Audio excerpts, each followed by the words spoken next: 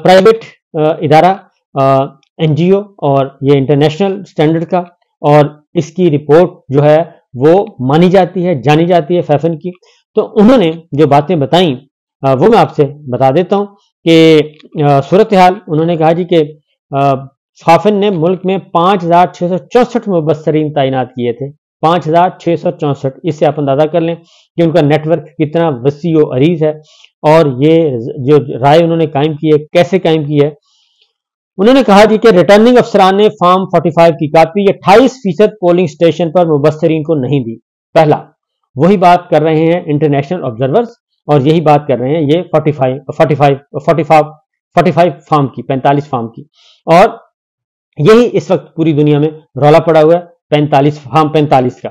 उसके बाद है जी उन्होंने कहा अट्ठाईस फ़ीसद पोलिंग स्टेशन यानी कि इससे आप अंदाज़ा कर सकते हैं, सौ में से अट्ठाईस इनके साथ भी यही हुआ। आर ऑफ़िस में मुबसरीन को जाने नहीं दिया गया। इससे अगला, ये दूसरा डॉक तीसरा जो है, वो बड़ी दिलचस्प चीज़ है कि 16 लाख बैलेट पेपर्स मुस्तरद हुए। 16 लाख बैलेट पेपर्स मुस्तरद हुए और 25 हलकों में 25 हलकों में मुस्तरद वोटों का मार्जिन जीत के मार्जिन से ज़्यादा था और ये वो हल्के हैं जो पच्चा, ये सारे के सारे पच्चीस हल्के पच्चीस हल्के किसके हैं? ये पंजाब के हैं। पंजाब के पच्चीस हल्कों में 16 लाख बैलेट पेपर मुस्तरद हुए। 16 लाख बैलेट पेपर का मतलब है 16 लाख वोट। और वो किसके थे? पाकिस्तान तहरीक इंसाफ के। तो 16 लाख वोट किया और इसका मतलब है कि पाकिस्तान तहरीक इंसाफ का जो वोट बैंक है, वो तो दो करोड़ से भी बहुत, सवा दो करोड़ की तरफ़ पहुँच गया।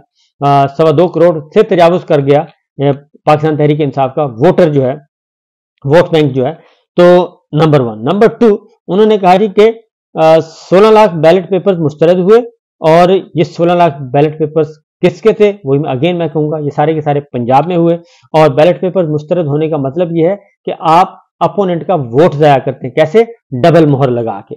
और वो, और इस बात को उससे तस्दीक मिलती है जो कि फुटेजेज आ रही हैं वीडियोज़ आ रही हैं, जिसमें वो ठप्पे लगा रहे हैं कि जनाब जल्दी जल्दी ठप्पा लगाएँ।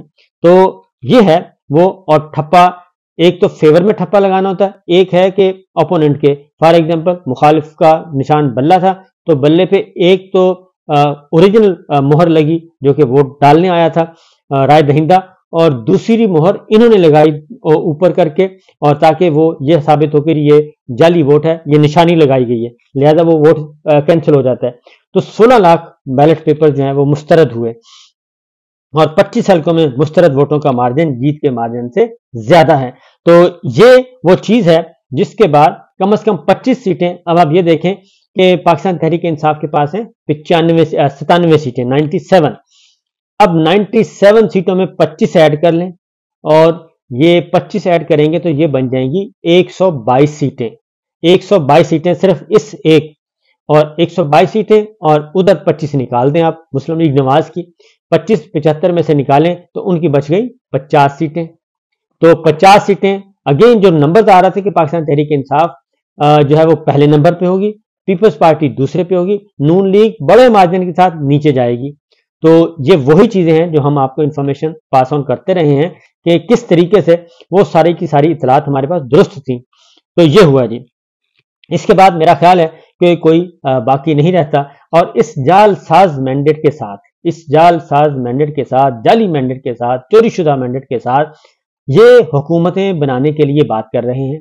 और कल जो फार्मूला तय पाया, कमाल का फार्मूला है कि सुबह वज़ीर आज़म कोई और होगा, दोपहर को कोई और होगा, शाम को कोई और होगा, यानी पहला है कि फिफ्टी फिफ्टी वज़ीर आज़म होगा फिफ्टी फिफ्टी पहले ढाई साल एक और आखिरी ढाई साल दो।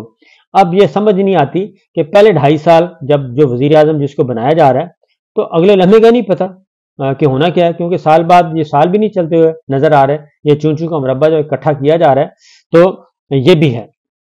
बहरहाल ये सारी बातें अपनी जगह पे मौजूद हैं जी। और यही एक हकीकत है कि हम समझते नहीं हैं तारीख से। और इस जाली मैंडेट के साथ हम क्या कर रहे हैं? जाली मैंडेट के साथ हम आपस में खेल रहे हैं पीपल्स पार्टी और मुस्लिम लीग नवाज़ के जी। वज़ीर आज़म होगा फिफ्टी फिफ्टी यानी आधी मुद्दत का आपका, आधी मुद्दत का हम, हमारा। अभी मौलाना भी आएँगे और कोई और पार्टी भी आएगी। उन्होंने कहना है कि जनाब, आधी मुद्दत क्यों?